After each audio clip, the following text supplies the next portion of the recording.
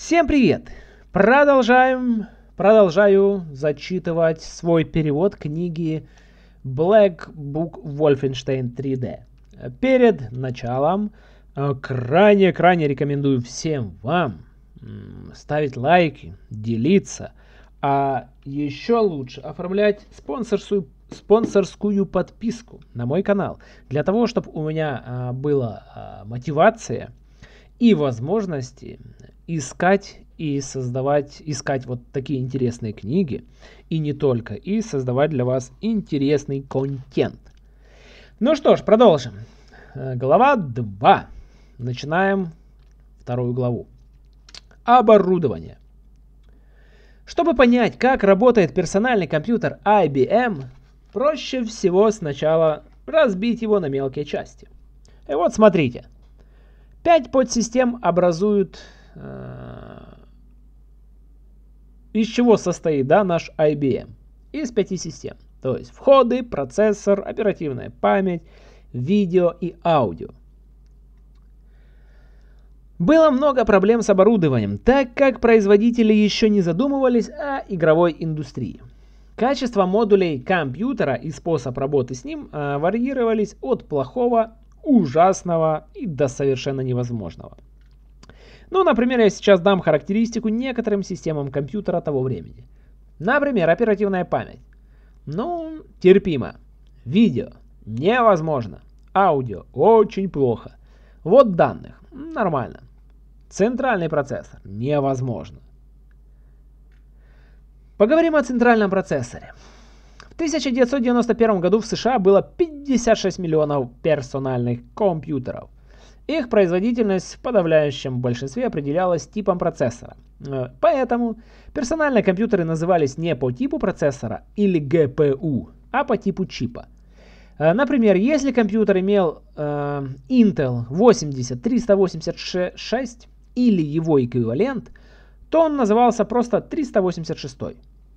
Если у него был чип 80 286, то это был просто 286. Кстати, термин GPU, ну GPU, да, в то время этого термина в то время еще не было. Этот термин был придуман компанией Nvidia в 1999 году, э, которая продала GeForce 256 как первый в мире графический процессор. Преобладающим производителем процессоров был Intel на то время, со своей линейкой микропроцессоров x86. Машины, основанные на 16-битном процессоре 80286, продавались не очень хорошо, но их приемники с 80386, представленными в 1985 году, были чрезвычайно успешны. По данным DataQuest, э, опубликованным в журнале PC Magazine в феврале 1992 года, в 1990 году было продано около 3,74 миллиона 386 систем. В результате Wolfenstein 3D был разработан для работы на персональном компьютере с 386 процессором с пониженной производительностью. Вот. Но все еще воспроизводимой на 286. Итак, смотрим на картинку. Intel создала две версии 386 процессора. 386SX и 386DX. Они были идентичны, но версия DX имела почти была почти в два раза мощнее SX. На графике 386 SX 33 МГц и 386 DX 33 МГц находятся соответственно на 5,1 и 8 мипсов. Мипс вы помните, да, это 1 а, мипс равен 1 а, миллиону инструкций в секунду. Это связано с тем, что шина данных между процессором и оперативной памятью в два раза шире на DX. 32 бита против 16 бит. Шинный блок 386SX позволил производителям повторно использовать микросхемы материнских плат. Разработанные для Intel 286, которые имели 16-битный шинный блок, что еще больше снизило затраты. Несмотря на свою неполноценность, SX хорошо продавался. Потому что он был дешевле. И многие э, люди понятия не имели, что такое шина. Они просто хотели 386. Для сравнения, современный процессор, такой как Intel Core i7 3,3 ГГц, работает со скоростью около 180 тысяч мипсов. Вспомним, да? Опять. Один мипс равен 1 миллиону инструкций в секунду. Если это сказать другими словами, то получается современный вот этот Intel Core i7 э, выполняет 180 миллиардов операций в секунду против 8 миллионов операций в секунду для 386 DX процессора. Две другие компании производили клоны Intel 386. Это AMD и Cyrix. Их посредственные показатели не оправдывали более низкой стоимости. И в результате они так и не завоевали значительную долю рынка. Почти все компьютеры того времени имели процессоры Intel. Интересно, что AMD эволюционировала, чтобы стать серьезным соперником в будущем, в то время как Cyrix объединилась с National Semiconductor в 1997 году. Итак, процессор Intel 80386. Путь от чертежа до кремниевого чипа был не очень приятным для 80386 процессора – Э, он начинался как побочный э, проект для небольшой команды в Сан-Хосе, в то время как некоторые сотрудники в Портленде работали над флагманским Intel i960. Процессор, который использовал новый набор команд. Был способен запускать высокоуровневый язык и сборку мусора памяти в аппаратном обеспечении. Когда же Портлендская команда уперлась в стену из-за проблем с производительностью. 386 превратился в короля. Э, два варианта дизайна 386 способствовали его успеху. Во-первых, дизайнеры решили прислушаться к отзывам программистов и отказались от идеи использования нового набора инструкций. В результате модель 386 полностью обратно совместима с моделью 286. Во-вторых, им удалось добавить 32-битный режим работы, э, который решил э, многие проблемы с адресацией памяти 386. Как и 80286, 80386 использовал 1.5 микрометровый тех, техпроцесс в производстве. Увеличенная поверхность с 49 квадратных миллиметра до 100 4 квадратных миллиметров позволила Intel упаковать 275 тысяч транзисторов вместо 134 тысяч. Например, на современных 64-ядерных процессорах может быть от 2 до 40 миллиардов транзисторов при площадях от 100 до 1000 квадратных миллиметров. И технология производства от 24 до 7 нанометров. Кстати, 286 был довольно непопулярен как среди программистов, так и среди разработчиков аппаратного обеспечения. Билл Гейтс назвал его «смерть мозга» для операционных систем, а Стив э, Моррис, соавтор Intel 8086, назвал его программным ядом. Ну и на экране вы видите э, изображение 386 процессора. Ну а сейчас Э, вы видите макет 386 процессора. Paging Unit это блок управления памятью. Buzz Unit это контроллер шины. Код Prefetch Unit это предзагрузчик, который отслеживает адреса чтений, записи и породивших их команд. Segmentation Unit это блок сегментации. Instruction Decode Unit это блок декодирования команд. Protect Test Unit это блок тестирования. Э, Data Unit это блок данных. Control Unit – это блок управления. ROM – это постоянная память. А, а сейчас смотрите на другую картинку.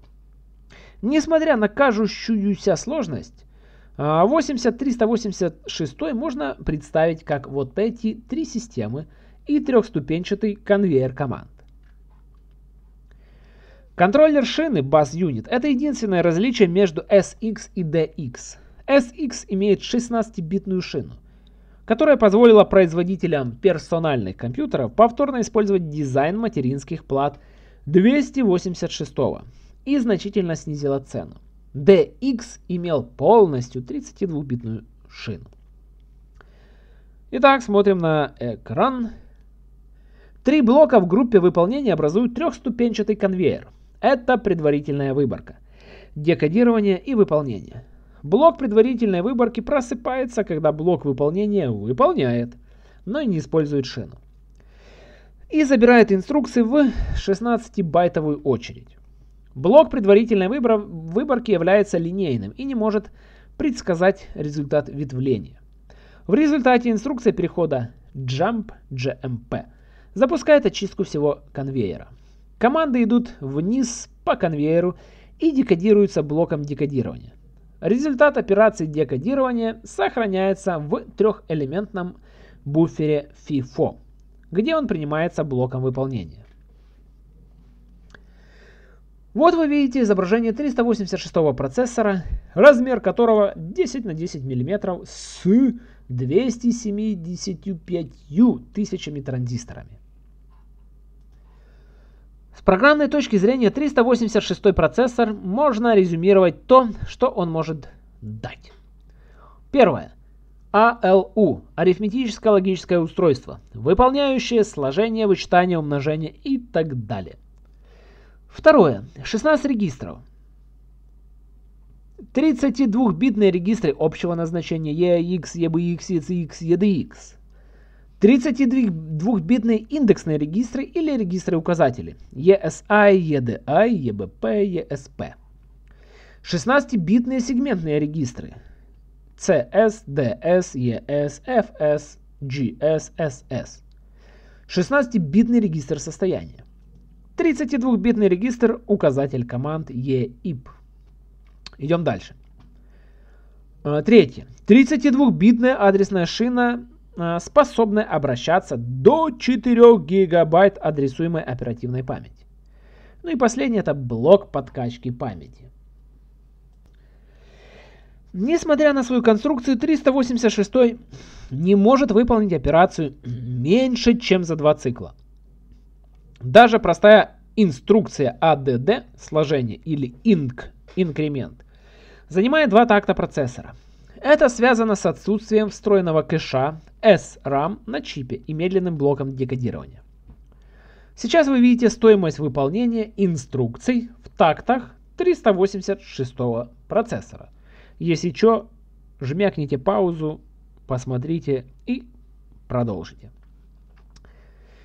Поговорим о числах с плавающей запятой. Вся мощь процессора того времени не обязательно могла быть полезной для 3D игр. Чтобы выполнять тригонометрические вычисления для трехмерных эффектов, движок должен отслеживать дробную часть каждой операции. Это не кажется проблемой, так как язык C имеет специальный для этого тип float. Но на практике это была проблема. И чтобы понять, что это за проблема, нам нужно понять, как работает float. Как написал Дэвид Голберт, для многих людей арифметика с плавающей запятой кажется каким-то тайным знанием с чем я полностью согласен. Но понимание работы Float очень важно, поэтому, потому что это важная часть понимания, насколько это полезно при программировании 3D-движка. В языке C флоты являются 32-битными контейнерами, которые следуют стандарту IEEE 754. IEEE 754 – это широко используемый стандарт, описывающий формат представления чисел с плавающей точкой – Используется в программных и аппаратных реализациях арифметических действий. Назначение этого типа контейнера – хранить и разрешать операции по аппроксимации действительных чисел. Итак, смотрите на картинку. Эти 32 бита разделены на три секции. S – 1 бит для хранения знака. E – 8 бит для экспоненты. M 23 бита для мантисы. Смотрим дальше. Это способ интерпретации чисел обычно объясняется с помощью вот такой вот формулы. Надеюсь, она вам ясна. Идем дальше. Хотя это и правильная формула и все такое, э, но она обескураживает легионы программиста. Так что они больше никогда не возвращаются назад, чтобы понять, как на самом деле работает плавающая точка. Но, к счастью, есть лучший способ объяснить это все. Итак, смотрим на экран. Воспринимайте экспоненту как окно window, ну как окно, или интервал между двумя соседними целыми степенями двойки. Мантису воспринимайте как смещение offset в этом окне. Смотрим дальше. Окно сообщает нам, между какими двумя последовательными степенями двойки будет число. Например, 0 и 1, то есть это степеня двойки. 2 в нулевой, 2 в первой степени. Дальше 1, 2. 2 в первой, ну 2 в нулевой и 2 в первой, да. 2 и 4 это 2 в первой, 2 в второй. 4 и 8 это 2 во второй и 2 в третьей. И так далее вплоть до 2 в 127 степени и 2 в 128 степени. Смещение разделяет окно на 2 в 23 степени сегментов. То есть это на 8 миллионов 388 тысяч 608 сегментов. С помощью окна и смещения можно аппроксимировать число. Окно это отличный механизм защиты от выхода за границы. Достигнув максимума, например, в окне 2 и 4, можно переплыть вправо и представить число в пределах следующего окна, например, 4 и 8. Ценой этого будет только небольшое снижение точности, потому что окно становится в два раза больше. Давайте, например, возьмем окно, а, ну, пример с окном 0, 1, в котором 8 миллионов 388 608 смещений накладывается на интервал размером 1 что нам дает точность? 2 минус 1 делим на 8 миллионов 388 тысяч 608. И получаем 0,00000 и, и, и так дальше. В окне же 2048 и 4096 8 миллионов 388 608 смещений накладывается на интервал 4096 минус 2048, 2048. Что дает нам точность? Смотрим, да? 4096 минус 2048 и делим на вот эти 8 миллионов с хвостиком. И получается у нас точность 0,0002. То есть, соответственно, надеюсь, вы уловили суть и немного начали понимать. Теперь смотрим дальше. На рисунке показано, как кодируется число 6 и 1. Оно должно начинаться с 4 и заканчиваться следующей степенью двойки, то есть 8. То есть, соответственно, это окно 4 и 8. И наше смещение находится примерно посередине окна. Давайте возьмем еще один пример с подробным вычислением представлением в виде числа с плавающей точкой, хорошо известного всем нам значения π. Число π 3,14 положительно, соответственно s равно 0. Число π 3,14 находится между степенями двойки 2 и 4. То есть окно числа с плавающей запятой должно начинаться с 2 в первой степени. Вот, ну, короче, надо, смотрите формулу. А, вот. Наконец, 2 в 23 степени а, есть, есть 2 в 23 степени смещений, которыми можно выразить расположение 3 и 14 внутри интервала 2 и 4. Оно находится в... Выполняем все эти деления, которые вы видите на экране, и оно находится в внутри интервала, что дает нам смещение m равно 2 в 23 степени Э, то есть m равно 2 в 23 степени умножить на 0,57 и равно 4 а, миллиона 781 тысяча 507. Ну и вы видите, как это преобразуется а, в двоичном виде. То есть знак у нас, первый бит нолик, экспонента, да, а, у нас равна 128, мантиса там 4 миллиона и, и так дальше. Ну и, соответственно, э, опять-таки вы видите на экране, как аппроксимируется это число. Возможно, с первого раза это непонятно.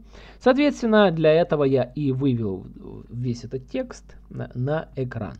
Если непонятно, можете вернуться обратно, просмотреть, либо же опять-таки поискать примеры чисел вещественных в двоичном представлении. И, пользуясь э, вот этими объяснениями, понять, э, как же это все аппроксимируется и представляется в двоичном э, виде. Так вот, вот это вот значение π и вот это вот все, что было показано, описывает вот эта вот непонятная формула. А сейчас вы видите графическое представление с окном и смещением. Арифметика с плавающей запятой – это мощный инструмент. Он может представлять очень маленькие или огромные значения, отслеживая дробные части числа, а также защищать от переполнения данных, э, как бы плавая в окне, когда это необходимо. Плавающая точка удобна, но ее недостаток заключается в том, э, что она также является вычислительно дорогой. Причина очень проста.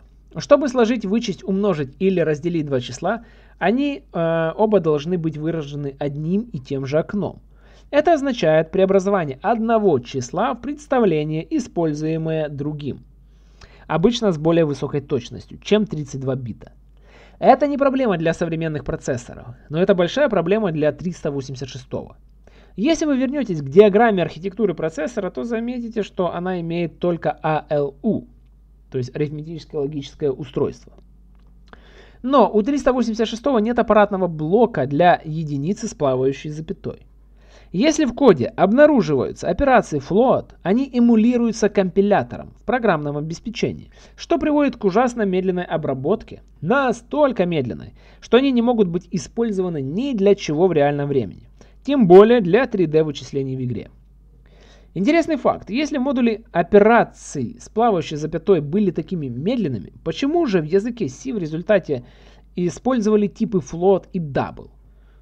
Ведь в машине, на которой изобретался язык PDP-11, не было модуля операций с плавающей запятой. Дело в том, что производитель DEC пообещал Деннису Ричи и Кену Томпсону, что в следующей модели он будет – а они были любителями астрономии и решили добавить в язык эти два типа. А, те, кому в 1991 году действительно нужен был аппаратный модуль операций с плавающей запятой, могли его купить. Единственными, кому он мог понадобиться в то время, были ученые. Но, по крайней мере, так Intel понимал потребности рынка. На рынке они позиционировались как математические сопроцессоры.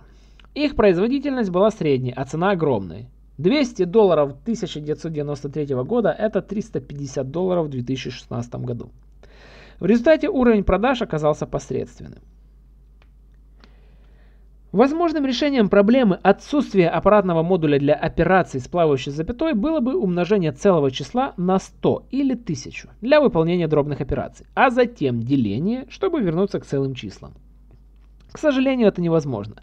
На 386 инструкция умножения ИМУ занимает от 12 до 25 циклов, а деление div еще хуже, около 27 циклов. В результате разработчик игрового движка оказался в неловкой ситуации с двумя половинчатыми решениями своей проблемы.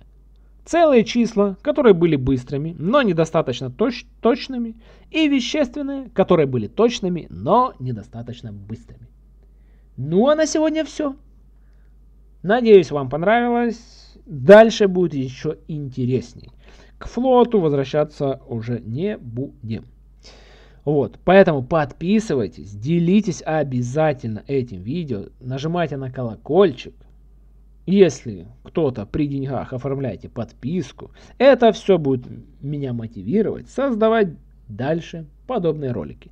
Ну а теперь точно все. Всем спасибо за внимание. Подписываемся, делимся, ставим лайки, комментируем. Всем пока.